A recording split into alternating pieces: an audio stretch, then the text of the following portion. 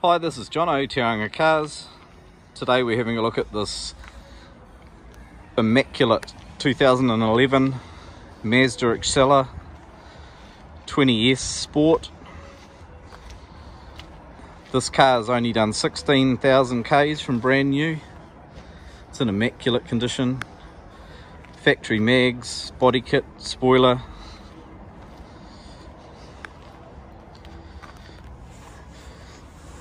hard to find with this low mileage and immaculate condition. It's the nice electric blue colour which is always popular. As you can see, just immaculate really. What you'd expect with such low mileage. Thanks for having a look.